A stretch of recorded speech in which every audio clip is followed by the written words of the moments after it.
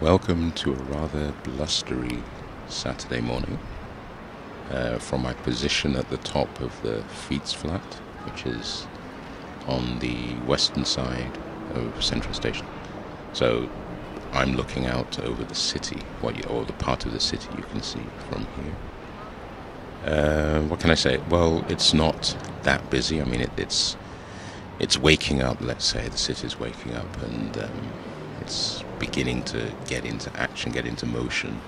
So you see a few people on the bridge. There aren't that many boats.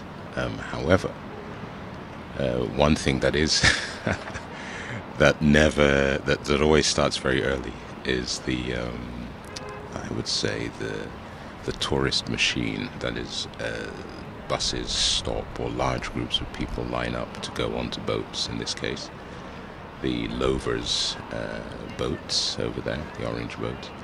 Um, a little funny thing about Lovers, of course, I think I've said it before, but everyone thinks it's lovers and it's Lovers. Anyway, blah, blah, blah.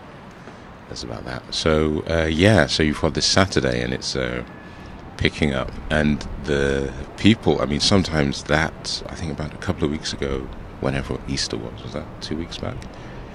It was really, really packed. It was impossible to pass that. Uh, well, you of course you could pass that strip of road, but it was super full uh, of people waiting to get onto the boats, and um, it's almost as if it's almost like a pilgrimage, you know, that uh, sailing al- along the canals of Amsterdam is one of the one of those things that you need to do in, in order to um, boost your level of spirituality or something like that. But uh, yeah, or it's just like I mean, it is nice. I, I, I haven't done it for ages and ages because I, I just I'm sorry, I don't feel like getting squashed up in the boats with uh, lots of tourists. But that's just me being a bit uh, finicky and uh, unnecessarily um, fragile, shall I say? anyway, so yeah, so this is it. You know, you've got a couple of trams uh, coming back and forth.